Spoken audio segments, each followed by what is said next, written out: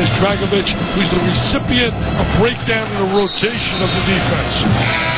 Well, don't forget our coverage of the 2K Sports Classic benefiting coaches versus cancer continues tomorrow night with the final two games. The third place game comes your way at 5 Eastern. The Salukis of Southern Illinois will take on uh, either UCLA or Michigan, and whoever wins this game will take on Duke in the championship game at 7 Eastern. So it could be number four against number five. If the Bruins win this, Duke UCLA could be pretty fun. Well, I got a feeling all the people in the world of television are hoping for a Duke UCLA matchup. I mean, I really do. I think it's made for TV. The only dilemma might be the fact that everybody's caught up with a football frenzy on a weekend, and it really gets lost in the, in the scene there. A couple of big games on, on ABC this weekend with Michigan playing Ohio State, of course, Texas Tech and Oklahoma as well. Michigan, Ohio State, that's a blowout. You, 10 years ago. Nice play. C.J. Lee off to DeShawn Sims. What a play. Yes, sir. Nice play there. Sims, the final guy, the recipient of the pass. And Michigan and Ohio State in football, it's just a matter of what will be the score.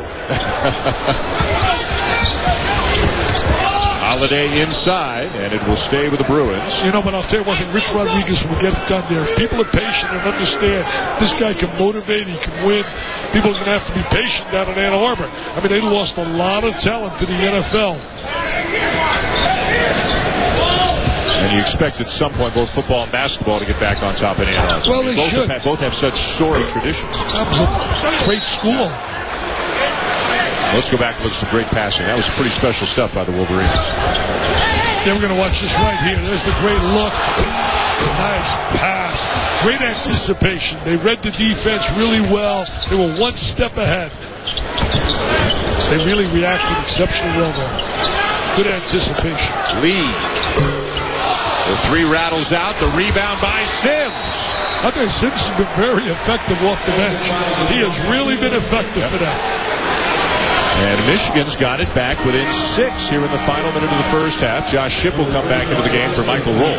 I don't think there's any doubt that Michigan's going to be an improved team from last year. I mean, when you think about last year, how much you offensive rebounds, Sims very active.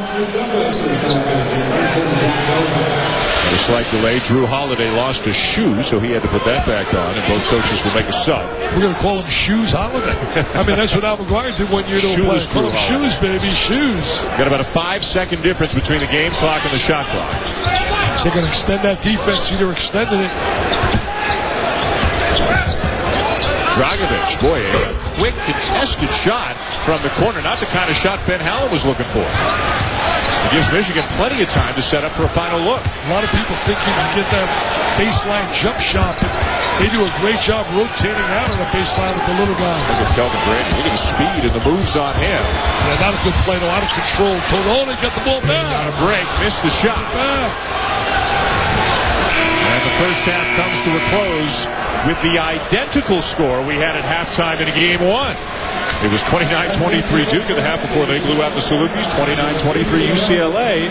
And Dickie V was throwing up some bricks there. No, no, wait a minute now. Some bricks. I'm, going to tell you, this guy's unbelievable.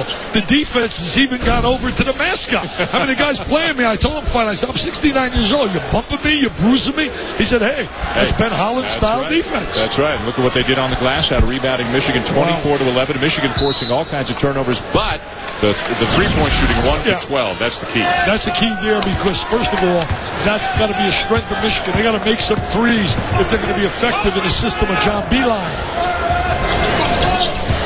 Michigan in white, UCLA in blue as we start the second half. The winner plays Duke in the championship game tomorrow night, 7 Eastern, right here on E ESPN2. Stu Douglass knocks it down. It's a four-point game. If you're John Beilein and you win one for 12 from three-point range and you're only down four early in the second half against a top-five team, you got to feel pretty good about things. Well, you know, Douglass, a freshman out of Carmel, Indiana. That area has pro- produced some really good players for Conley and Oden.